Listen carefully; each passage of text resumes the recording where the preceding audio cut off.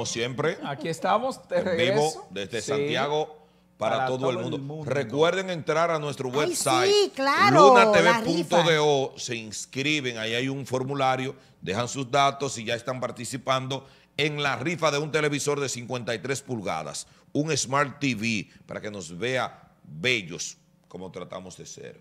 Así ¿Verdad que es. sí? Entre ahora al website lunatv.de y a todas nuestras redes sociales. Luna TV, el canal de los campeones. Los combustibles. El barril de petróleo en el día de hoy está por debajo de los 90 dólares a nivel internacional. Sobre todo el WEBS de Texas. WEBS es el West Texas International. De referencia para República Dominicana.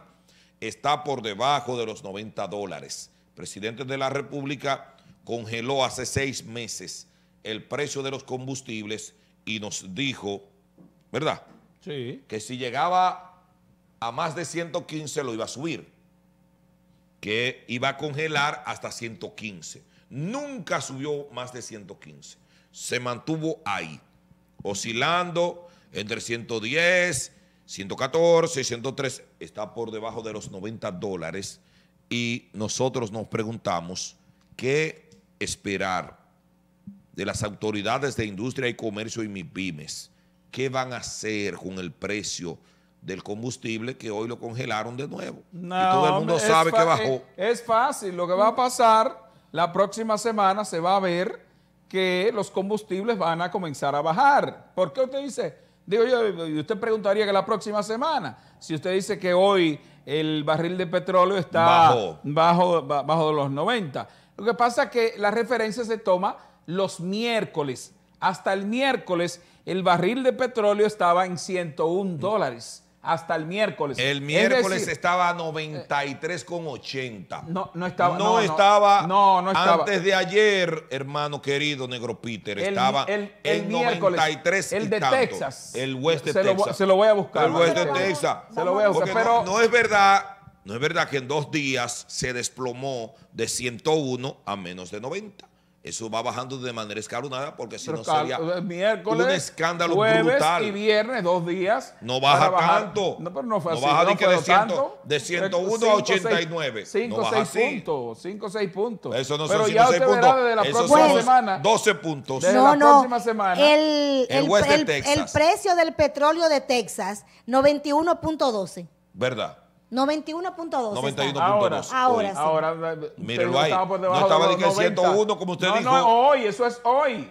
Hoy, hoy, hoy viernes. Hoy Búsquelo hoy viernes. viernes. Hoy viernes. Hoy viernes. Hoy viernes. En 91, hoy viernes. O- el, el jueves estaba en 91 y algo. Hoy está por debajo de los 90. no, no. 89 y algo. Chequéelo, Yamira, 89.87, chequéelo. 88. Mientras Yamira Que chequea. lo bajen, que bajen Mientras. Yamira chequea eso. Demasiado ya dinero comenzó el acumulado. ministro de Educación a, A pasar la a- mocha. A, pasar la mocha y lógicamente a, a poner su gente en su puesto. A poner la, ca- A- la a- casa a- en orden. A poner la casa en orden. Déjeme ver. El, continúa ella. el, el ministro de Salud Pública, eh, de Educación, se llevó hoy al licenciado Castillo Manuel Vidal Sánchez, quien era director general financiero. Al financiero, el, El hombre que maneja los financiero. cuartos. El El de los- financiero. el de los que autoriza. Ángel debe Sí, asegurarse sí, tener un sí. financiero ahí de También su confianza. se llevó a Ricardo Modesto Pérez Vargas, quien era director de compras. También. Dos- Ah, dos personas tam- muy claves. También, Puesto- dos también. puestos muy delicados. Muy Sí, y el delicado. ¿A otro, quién fue, más? el otro fue el señor Gilberto Antonio Sánchez Parra. Ese era el Consul- consultor jurídico. jurídico. Claves. Tres, Tres cargos, piezas claves. Los, tres, las tres- la- la- los tres puestos más importantes en el, minist- en el Ministerio de, de- de- de Salud, de, obra- de, de- de educación. Esos tres fueron los que estuvieron junto a Roberto Fulcar Exacto. haciendo las diabluras que se hicieron allí. Porque por la mano de ese grupo fue que pasó todo el dinero Sí, Todo. claro, que echó al retrete, a la cuneta, el peor ministro de educación de la historia del país.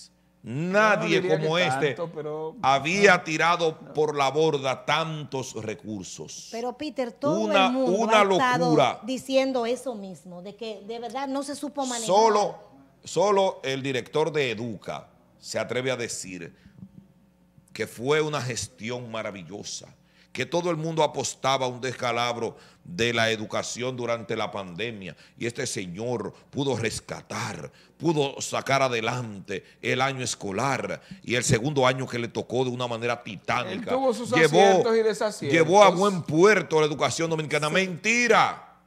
¿Por qué lo quitó el presidente? Bueno, Porque lo hizo bien. hubieron unos escándalos. No, no, Entonces, no, señor presidente, usted canceló, dejó sin funciones a un buen funcionario y amigo de él.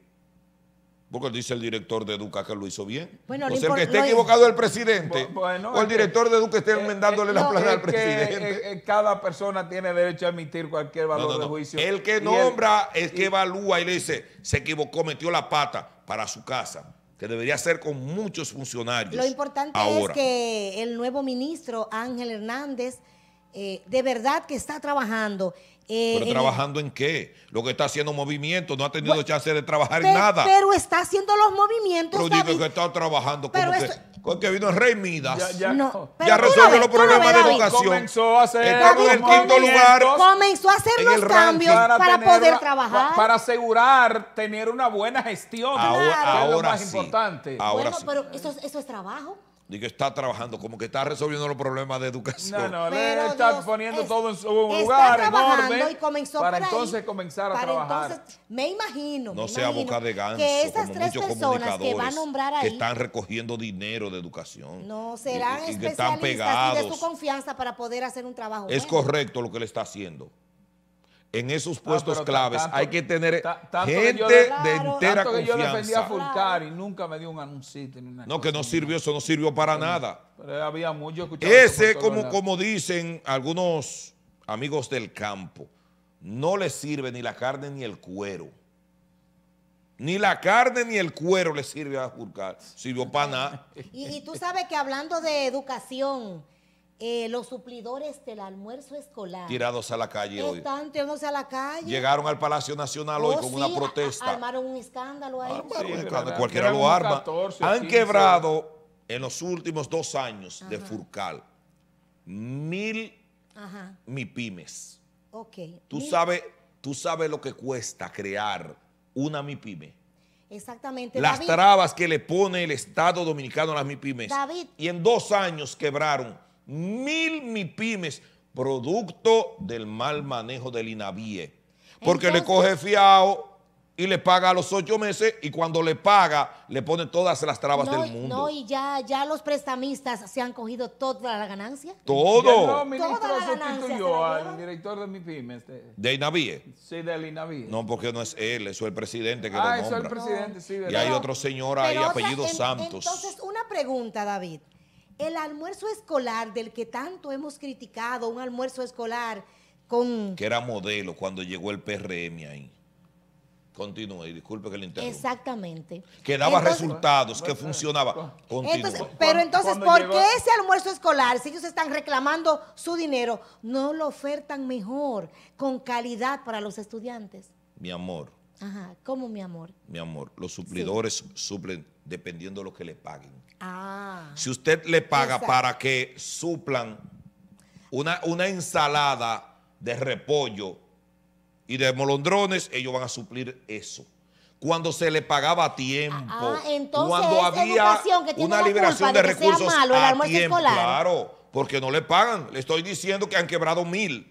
es que yo Han entiendo... quebrado mil y los que no han quebrado están con una soga al cuello. Es que yo entiendo que eso no, es, eso no es de que, que, eh, te voy a pagar en dos meses. Eso es, señores, mensual. mensualmente. De- debería ser así porque como un el sueldo. para que, presupuesto general de la nación tiene una partida para educación que es un 4% donde y está que incluido llega, y que llega. donde está incluido el presupuesto del INAVIE y es garantizado porque es el 4% del presupuesto. Entonces no me No, pueden hombre, eso decir es una barbaridad. que Ocho meses para contratan pagar. y luego no le ¿Y pagan. quién tiene dinero para tener ocho meses sin Nadie. cobrar? Eh, mire, al cierre ya atraparon uno de cuatro de los delincuentes que le quitaron la vida al hijo del diputado de Dajabón, a Dabel Zapata.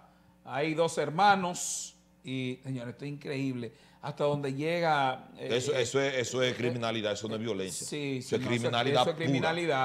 Pero usted pensar dos hermanos que viviendo con sus padres y ellos sabiendo que esos hijos están en, en malos pasos. No, lo- los padres de esta época porque- disfrutan del Sí, producto del delito, de los robados. y Claro, todo porque ellos le llevan dinero. Somos cómplices Sí, muchas Sí, veces. andan tres Por acción u omisión pero somos ya hay cómplices. uno que está, ya cantó el primero. Es decir que... Y lo que le falte por cantar, que le den para que siga que- que cantando. le den, exactamente, Claro. así es que hay que hacerlo.